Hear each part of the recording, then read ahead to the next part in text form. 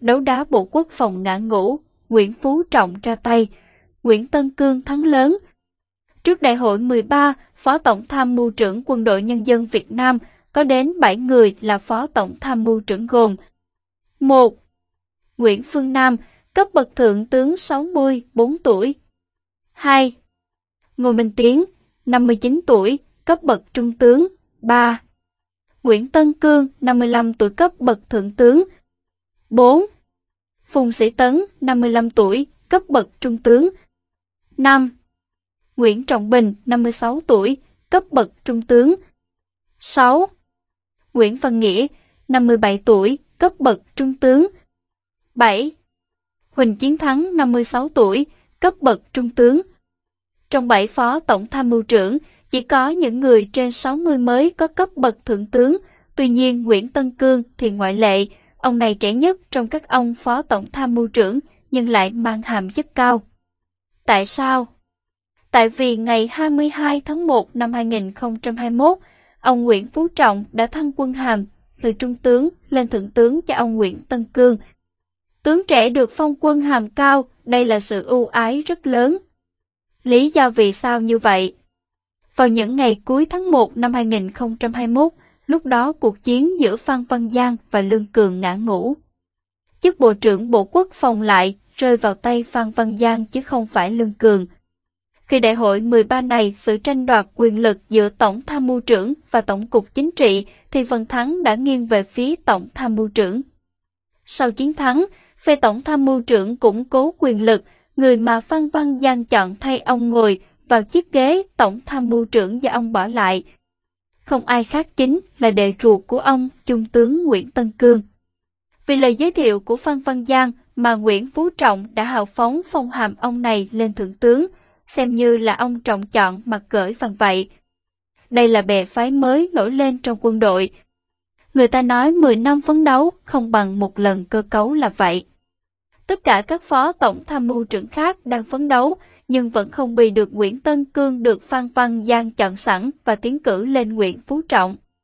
Ông Nguyễn Phú Trọng sợ đảo chính.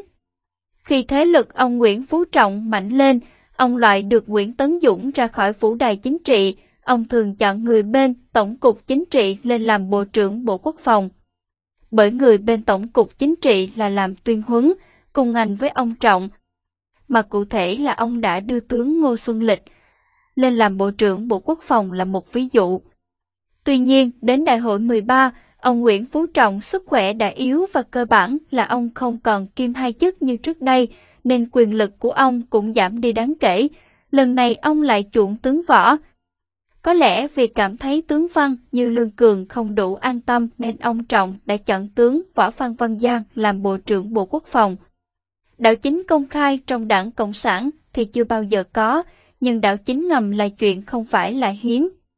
Đảo chính công khai là dùng quân đội tấn công như trường hợp Myanmar, còn đảo chính ngầm là dùng sức mạnh quân đội để ép những người có thế lực yếu hơn phải từ chức hoặc phải về hưu.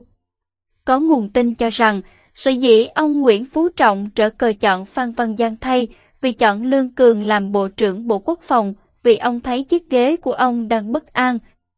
Ông tự tạo suất đặc biệt cho chính mình ngồi lại ghế tổng bí thư làm bao nhiêu người phải mất cơ hội thay thế ông. Họ rất cay cú. Ông Nguyễn Phú Trọng là người rất tinh ý, ông nhận ra nguy cơ bị đảo chính ngầm và ông đã chọn Phan Văn Giang. Tất nhiên khi ông chọn Phan Văn Giang thì cũng cần phải ưu ái luôn cả những đàn em thân tín của Phan Văn Giang để ông này củng cố quyền lực. Ông Nguyễn Phú Trọng dùng người rất đúng, thời điểm quyền lực quá mạnh, ông tính kế hoạch khác, thời điểm quyền lực ông bắt đầu suy yếu, ông tính bài khác. Hiện nay ông Trọng rất cần sức mạnh cơ bắp của quân đội, nên những tướng trong tổng tham mưu trưởng được ưu ái hơn. Nguyễn Tân Cương được bổ nhiệm làm tổng tham mưu trưởng. Ngày mùng 3 tháng 6, ông Nguyễn Tân Cương, cấp hàm thượng tướng, được bổ nhiệm làm tổng tham mưu trưởng thay cho vị trí ông Phan Văn Giang trước đây. Người chọn ông Nguyễn Tân Cương là Nguyễn Phú Trọng, nhưng thủ tục thì ông Nguyễn Xuân Phúc, Chủ tịch nước, là người trao quyết định bổ nhiệm ông Nguyễn Tân Cương làm Tổng Tham mưu trưởng Quân đội Nhân dân Việt Nam sáng mùng 3 tháng 6. Tại buổi lễ, ông Nguyễn Xuân Phúc nói ông Nguyễn Tân Cương là cán bộ có phẩm chất chính trị, đạo đức tốt, được đào tạo cơ bản, rèn luyện, thử thách qua nhiều cương vị công tác. Đấy là những lời khen tặng có cánh, thực chất là phẩm chất tốt không quan trọng, quan trọng là ông Nguyễn Tân Cương đã được Phan Văn Giang tín nhiệm và tiến cử lên ông Nguyễn Phú Trọng. Vị trí Tổng tham mưu trưởng Quân đội Nhân dân Việt Nam rất lợi thế, ông Nguyễn Tân Cương có thể họp cùng quân ủy Trung ương, Bộ Quốc phòng làm để tham mưu cho ông Nguyễn Phú Trọng về công tác quốc phòng. Bởi ông Nguyễn Phú Trọng là Chủ tịch quân ủy Trung ương. Trước đó hôm mùng 8 tháng 4, người tiền nhiệm của ông Cương là ông Phan Văn Giang đã được Quốc hội phê chuẩn làm Bộ trưởng Quốc phòng. Thượng tướng Nguyễn Tân Cương, 55 tuổi, cử nhân quân sự, quê ở thị xã Duy Tiên, tỉnh Hà Nam. Ông là Ủy viên dự khuyết Trung ương Đảng khóa 11, Ủy viên Trung ương Đảng khóa 12, 13. Từ năm 2011 đến năm 2013, ông là tư lệnh quân đoàn 1. Năm năm sau đó, ông giữ chức tư lệnh quân khu 4. Tháng 11 năm 2018, ông giữ vị trí Phó Tổng Tham mưu trưởng Quân đội Nhân dân Việt Nam. Từ tháng 12 năm 2019 đến nay, ông được giao nhiệm vụ Thứ trưởng Quốc phòng. Bộ Tổng Tham mưu là cơ quan chỉ huy, điều hành quân đội nhân dân, dân quân tự vệ và thực hiện các chức năng quản lý nhà nước về quốc phòng.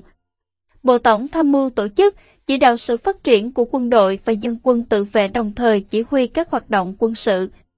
Nói chung là quyền lực rất lớn.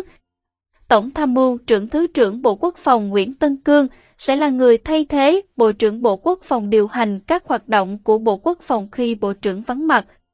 Ông Nguyễn Tân Cương mới có 55 tuổi mà đặt vị trí cao như vậy, đấy là vị trí triển vọng. Hiện nay ông Trọng đang muốn ưu ái Bộ Quốc phòng hơn Bộ Công an. Bộ này hiện nay đã có hai ủy viên Bộ Chính trị, trong khi đó Bộ Công an chỉ có một ủy viên. Chưa hết, ông Thượng tướng đang giữ chức trưởng ban tuyên giáo Trung ương. Nguyễn Trọng Nghĩa cũng là một ủy viên Bộ Chính trị dự bị, có thể giữa nhiệm kỳ ông Nghĩa sẽ được đưa vào Bộ Chính trị. Tổng cục Chính trị và Tổng tham mưu trưởng choảng nhau làm ông Nguyễn Phú Trọng lúng túng. Việc để một ủy viên Bộ Chính trị giữ chức chủ nhiệm Tổng cục Chính trị như trường hợp của tướng Lương Cường cho thấy ông Nguyễn Phú Trọng đang lúng túng trong vấn đề bố trí nhân sự cho Bộ Quốc phòng. Nâng đỡ rất nhiều, nhưng bố trí chức vụ không thỏa đáng đang làm cho một số người sinh ra bất mãn. Đây là điều không nên trong vấn đề dùng người.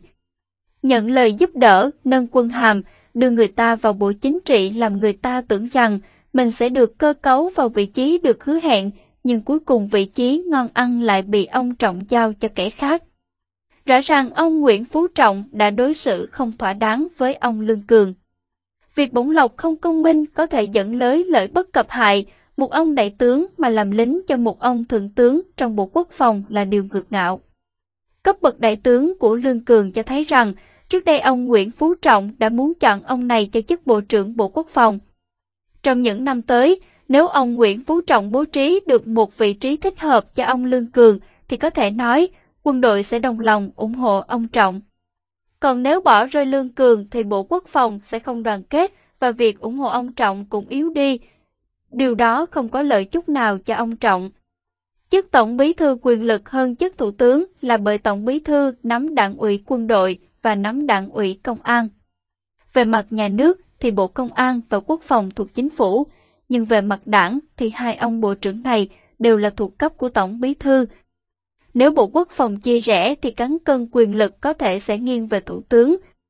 Quý vị và các bạn vừa theo dõi bản tin Đấu đá Bộ Quốc phòng ngã ngũ, Nguyễn Phú Trọng ra tay, Nguyễn Tân Cương thắng lớn, do biên tập viên Thu Phương trình bày. Chào tạm biệt quý vị và hẹn gặp lại các bạn trong bản tin lần tới. Thu Phương từ Berlin, Cộng hòa Liên bang Đức.